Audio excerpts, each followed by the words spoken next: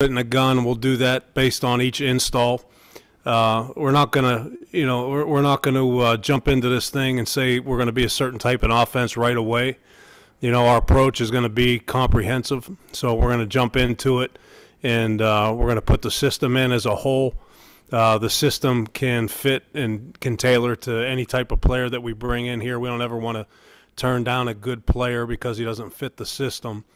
And uh, as we get going, we want to make sure we tailor the system to the players we have and what they do best. So right now we're uh, we just had a couple meetings here. We had one yesterday. We had one today, and we're just going through putting the general section stuff in, the beginning of the book in. Uh, we got lined up yesterday, and today we started putting some um, some simple run concepts in. But we want to make sure we get a look at these guys in pads and see what they do best before we, you know, try to guess on uh, you know the best way to go out and play.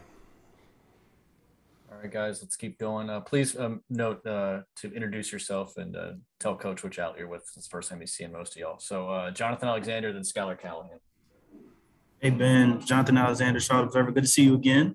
Good to see you. Um, let me ask you when uh, when you look back at the film of this offense and, and why the quarterbacks, um, you know, may have struggled last year. What did you see? What what did you determine from that?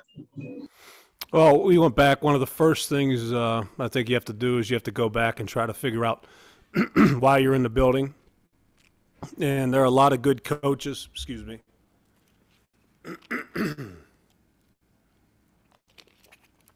there are a lot of good coaches in the building and a lot of good players in the building. And when I went back, we started, we watched each game. Um, so we spent time together as a staff watching all 16 games. And we just had looked at the season and how it unfolded. Uh, those discussions, I think it's important, uh, you know, when things are said and things are done, we keep kind of those in house right now. Uh, but there's a lot of reasons why, you know, maybe the win total wasn't what you desired uh, last year. And I think uh, Coach Rhule hit it in the meeting this morning. I think the most important thing we can do is take care of the football. The ball's king. And if we start there and we, we do a better job taking care of the football moving forward, we're going to have a chance to be more successful on Sundays. Hey, Ben, Schuyler Callahan with Sports Illustrated. Welcome to Charlotte. Um, just wanted to get your thoughts on when you go through this draft process in, in a year like this where there's really not a clear cut number one guy and there's multiple names at the top um, at quarterback. Just what kind of things do you look for whether it be on the field, off the field, in these interviews that you guys have, just that that may stick stick out to you? Yeah, uh, you know, I think you you have to look at each position. I think it's an exciting year for the draft, that's for sure.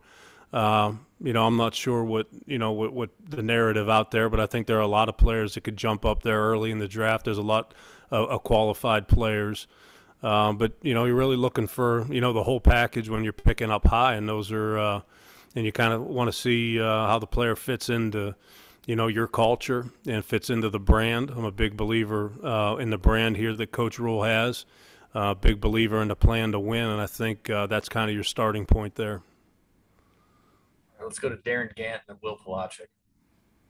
Hey, do it, man, Darin Gantt, Panthers.com. Um, how would you describe what you want to do offensively, I guess, from a philosophy standpoint, compared to what was here previously? What what are the big differences in what you believe about offense? Well, I think you know the first thing, like I talked about, is we need to see what the players do well, and we need to put them in uh, position to be successful and do what they do well. Now, a lot of the times you can't tailor to to all the players, uh, but the, you can to the nucleus uh, of players. Uh, so that's that's number one. I think the most important thing for us you know, philosophically is the game's about players, not plays. And we want to put the ball uh, in the players that can uh, greatly impact the game, put the ball in their hands. And we want to think of those players in critical times and put them in position to be successful so they can impact the game uh, in your favor. Uh, I think, you know, another thing that's important to me is we play – uh, whether we spread out or, or, we play with a fullback or we play with multiple tight ends, we could go any direction. That remains to be seen, but I think it's important that you have a physical, uh, heavy-handed play style in this league. That uh, you need to run the football, and you need to run the football on your own terms. Now, those of you who know me and who've watched me, I like to I like to throw the football. That's for sure. Uh, but there needs to be um, uh, times in the game and times in the season where you have to decide to run the football, and you have to be able to do that. It gives you a chance to be successful. Hey, Ben, Will Palaszczuk, WFNZ Radio here in Charlotte. Um, the offensive line has undergone a massive transformation year over year, especially with the addition of Coach Campen. Uh, what did you like about the additions that were made, and how will that play change uh, year over year for you guys? Yeah, I like, uh, you know, when I came in, we started watching film. I think there's good pieces here on the offensive line.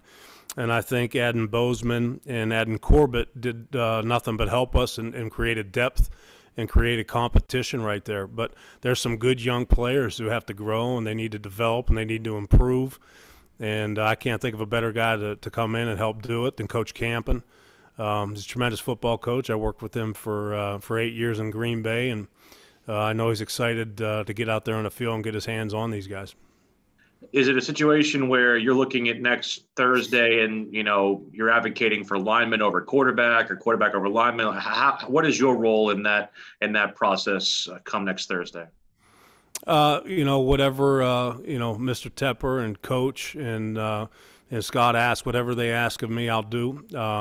I'll give my input. I've given my input on a bunch of different players, uh, whether it's quarterbacks, linemen, you know, the whole the whole nine yards. And uh, you just kind of go through and tell them what you see, and uh, tell them how they may fit uh, in the in the program and how they may fit, and how you would use them in your offense. And uh, you know, that's that's my role. Thank you. Welcome to town. Great to be here. All right, let's go to Joe, and then Steve. And it's Joe Person with the Athletic. Good to see you. Good, great to see you. That's Joe from uh, Williamsport. Williamsport, Pennsylvania. Great. Represent. Yes. Thank you for remembering. Um, you did a, a cool interview in 2018 with the New York Post where you were kind of breaking down the, the quarterbacks that had gotten drafted that year. And one of them was Sam. Mhm. And you mentioned that you thought there was magic in his game, but you didn't at the time really love the way he threw the ball. Wondered kind of if your opinion had changed at all over the years or just sort of what your opinion is of Sam. Yeah, you know, uh, Sam was one of the things, uh, one of the people that intrigued me to the job. To be honest with you, I, you know, I think Sam does have some magic in his game. I think he's got some athleticism to him. Uh, I'm excited to work with Sam, and uh, we've been working the last few days here uh, to kind of get up to speed on the offense. And he's shown uh, flashes of being a good player in this league, and you know, uh, working together. Hopefully, we can get that to show up more consistently. That same article you you mentioned Baker and you said he had an edge to his game which you liked, but you weren't sold necessarily on his athleticism. Any any change on how you view Baker over the years? Yeah, I'd love to be able to comment on your question, but this isn't my first rodeo, and uh, you know I'm not going to keep the comments to the players on our roster right now. Thank you, Ben. Yep. Hey, Coach Steve Reed from the Associated Press. Welcome to uh, Charlotte. Great to see you. Great to see you. Um, I was wondering, you know, you have a you have a dynamic weapon certainly in, in Christian McCaffrey. Can you explain to us on, on what ways you would like to get the best out of him? And uh, secondly, I'd like to follow up with Will's question: Do you prefer a tackle or a quarterback at number six? That you can tell us. Uh, let's you know, with as far as Christian goes, you know, we're just putting in the offense right now. We'll get out in a couple weeks, what we call phase two, and kind of throw catch a little bit and run around. And I'd like just like to see him, you know, in the offense. I've seen him in different offenses before. I just like to go out there, get my hands on him a little bit, and uh, see how he responds. He's certainly a guy that can, uh, you know, with his past production, he can handle anything you throw at him. He he can, you know, he can do a lot of different things for you, and uh, certainly that's exciting. Uh, as far as number six goes, you know, I'm a team guy first, so whatever's best for the football team, you know, whether it's offense, defense, special teams, whatever the case may be, trading back, I'm good. I'm good with it all as long as it helps the team. David Newton and then Ellis, please. Hey, Coach. I know you don't know where I'm from, but we did see each other. Uh, Liberty, right? Let's try out. But uh, hey, understanding the quarterback uh, likely will be the face of the organization. How much more intense is the vetting process at that position than any other in the draft, from your experience? Uh, I think you, uh, you know, I've been around long, uh, been around long enough to to be comfortable enough in my own skin. The you know you work the way you work and you evaluate the way you evaluate. And uh, I'm going to look at the position the same every year, whether you believe you're going to take one or whether you don't believe you're going to take one. I think it's always important that you do your due diligence. You know, dot the i's, cross the t's, and uh, you know the worst thing you can start doing uh, anything in life is start pressing, and that's the last thing I'll do. But regarding that, uh, do you do more vetting a quarterback than you say would a guard or a line, you know, another position out there because he's got to be so much to a team? Yeah, I think you evaluate each position a little bit differently. Uh, I think they all have, uh, you know, their little, uh, you know, their little intricacies you have to you have to dive into. But as far as changing that year to year, that's not something I'm willing to do. Okay. And you look at Sam as your starting quarterback? Sam is our starting quarterback. Yes. And I'll let you know, Coach Rhule will obviously have a say over that. But the way it is in the building right now, Sam is our starting quarterback. Right. Coach uh, Ellis Williams here, Charlotte Observer. Nice to see you again. Um, Good to see you. How's it going? Things are well, man. Welcome to Charlotte. Um, I, am wondering, you know, fans are familiar with you, most familiar uh, during your time with the New York Giants, and you know, we've had a you know good four or five years since then. I'm wondering, in your opinion, what have you learned about yourself? How have you expanded, grown um, as a offensive coordinator, as a play caller, in between then and now? Yeah, so I've uh, you know I've been fortunate enough, you know, as we all know, there coaches are hired to be fired in this business, and I was blessed to have the opportunities I've had in the past, and I'm blessed to have this one. Uh, during my time away, I spent a lot of time, uh, you know, either watching tape, uh, talking to people who can help me. You know, one of the things I've been working on is being better talking to you people. So, you know, announcing the starting quarterback here, I just put my foot in the mouth. So I, that wasn't something I should have said, but. Uh, uh, you know, so I spent some time visiting some different uh, different camps, and uh, talking to a lot of coaches, a lot of different players. Had a chance to work down in Jacksonville uh, with a good group of coaches. We had a rough year, but had a chance to learn a different system there. And then being in Dallas last year, uh, you know, being with Mike and just seeing how he created the culture there in Dallas and working with Dan Quinn on defense and Kellen Moore on offense, and uh, just having to, you know, learn diff both sides of the ball and, and work on both sides of the ball was a lot of fun. You know, put a spin on both sides of the ball for both different coordinators and and helped any way I could. So I think, you know, if you're not getting better in this profession, you're getting worse.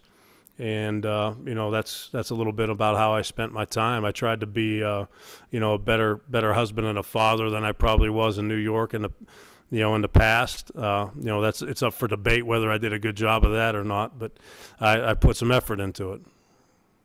Great answer. Thanks, Coach. Yep. Thank you. Let's try. We're getting a little time time, so let's try to hit some folks that haven't uh, had a chance yet. Uh, we'll go Sheena, then Cameron, then uh, Mike, and we'll see where we're at. Good afternoon, Coach. Sheena Quick with Fox Sports 1340 AM. How are you this afternoon? I'm doing great. I can't see you. I just see your name. Oh, sorry about that. But um, okay. I know you mentioned a little bit earlier that this draft class is interesting and exciting. What are some of the things that jump out to jump out at you when it comes to the quarterbacks and the tackles? Uh, the quarterbacks and the tackles. I just think you know up front, whether it's uh, you know tackles or guards or interior players, there's just a lot of guys that can play the game. It just seems like it's a deeper draft that way. Uh, so it just kind of really depends on what you like and what you're looking for, what floats your boat. Uh, and the same thing with the quarterback position. You know, you got all these different flavors out there. Just what uh, you know, what are you looking for? So there's a bunch of different guys that can play uh, guys with good skill sets, guys that are smart. Guys seem to be more athletic than maybe they were in the past, just as a consensus. So, you know, it'll, it'll be interesting to see uh, see how things go. A quick follow up on that. Um, I know a lot of mention was made that this was the most unpolished draft as far as quarterbacks and things like that. There wasn't a lot of star power. If if if you see any players that are, um, I guess, start ready or week one ready, who jumps out at you? Yeah, that's probably a question that uh, we'll we'll save for a little bit later. Uh, I'm not uh, comfortable talking about that right now. We haven't had our draft meetings yet, and we haven't had the draft yet, so I'll keep that one to myself. But I appreciate the question. Understood. Thanks, Coach. Yep. Ben, how you doing, man? Cam Wolfe, NFL Network. Good to see um, you, Cam. Good, good to see you too, man. Uh, just following up on Sheena, I guess there's been a lot of conversations about readiness for the quarterback prospects. how do you evaluate that traits versus the readiness to contribute immediately? Yeah, uh, you know, I'm a big swing for the fences kind of guy. So just because you're ready doesn't mean you're going to be the best. Uh, but ready does factor in some scenarios. I think that uh, you know experience obviously obviously helps. The more games you play helps. I think your experiences under what type of system you played in may help some guys over others, or and I also think maybe experiences in All Star games may help some guys over others. Uh, but at the end of the day, you have to pick a player that you're going to be happy with at that position, hopefully for the next decade. And readiness, it plays a part, but it's not everything. If I could follow up with just a little of a scheme question, uh, there's a couple quarterbacks here that are coming from like a RPO centric offense. I'm curious how you see that translate to this league and maybe how easy it is to get that type of system into maybe what you would like to run. Yeah, I think uh, again, it's a big. It's to me, it's a skill set question. What kind of skill sets guys have, and uh, I love this stuff. I could talk about it all day. Probably got to be careful about what I say, but uh, you know, when these guys play in these RPO offenses, they usually have a pretty good feel on where to go with the ball, and they can pull the the trigger pretty quickly. And I think those are two things that are very very valuable in this league. Appreciate you, man. Yep. Hey Ben, Mike Solarte, Spectrum News One. Welcome to Charlotte. Good to see you. Thank you. Good to Uh, see you. The uh, the question I have, you were, I want to make sure I've got this right now because you said you like to throw, but you also want to be able to run on your own terms, and you're not ready to commit to a style of offense until you can get out and see the guys do what they do on the field in person. Do I have that right? You're good. I might as well just go. You can take it No, from here. I just, I just want to make sure I'm, I just want to make sure I'm following along here. Uh, so that, all that being said, are you looking at this offense without committing to a style, that sort of thing, as a tear down, rebuild, uh, an augmentation? I mean, what is kind of your overall overarching thought on what you have to work with, what you've seen on tape, and the potential of some of the guys that you've witnessed, uh, you know, watching play? Uh, it's not a tear down to me in any stretch of the imagination. We have good players here, and uh, you know we. I didn't come here to lose. I can't I believe. I believe in, uh, like I said earlier, I believe in the brand. I believe in coaches' plan to win. Now, the foundation's there. The wins may not have, be, have been there yet, but the foundation's there, and I see an avenue to win. You know, when we go on the field, we just have to ask the players to do what they do best. And you're going to throw the ball at times a little more than you're going to run it. You're going to run it at times more than you're going to throw it, but that has to be a decision. You can't be forced to do those things. You have to do them on your terms. Uh, and we will be physical and we will be heavy handed, but you can do that in a variety of different run concepts. It doesn't have to be one. Great. All right, Thank you. guys, we're, we're getting tight here. So let's just do qu- two quick ones to finish off. We'll go Vashti and then finish with Jonathan Alexander. Hi, Coach. Uh, Bash Tyhurt with Carolina Blitz. I, I just following up on what you said earlier. You said that Sam Darnold was one of the, the was one of the things that intrigued you about this job. I wanted to know what else intrigued you about taking this position. Well, a lot of it, you know, is is what I just said. Uh, I believe in Coach. I've followed Coach. You know, we worked uh, with similar people in New York. We weren't there together. Uh, had a chance to see how he developed the program in Temple. Had a chance to see how he took Baylor and uh, got them back on track after some very tough times. And uh, I talked to him, you know, the first couple years on the job. Just nothing really worked out.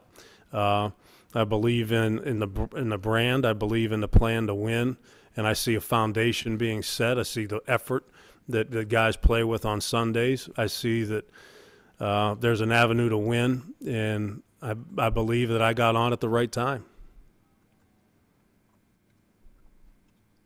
Then, uh, you know, Matt Rhule mentioned uh, that one of the reasons why he hired you was because of your experience in developing quarterbacks or helping quarterbacks. You know, Mhm. and I think he particularly pointed out Eli Manning. So I was wondering, what do you think was the reason why you were successful in that instance in helping Eli Manning have such an improved year um, in that year? Well, I mean, that's probably a better question for Eli than it is for me. But one thing I do believe is, uh, you know, I think you would need to train the players fundamentally. And the quarterback position, you need to train him fundamentally. You need to hold his feet to the fire, and then you need to build everything around his fundamentals and make sure it fits like nuts and bolts. Um, and you need to train him to play the way you want to play. And, you know, take the handcuffs off, so to speak, roll the ball out there and let him go and teach him how you want him to play and let him play the game. He's throwing it, you're not. If it's in the playbook, you better like it. It's in there. It has your name on it. That's what I believe. Great. Thank you, everybody. Thank you, Coach, for taking the time. All right, appreciate it. Thanks, Ben.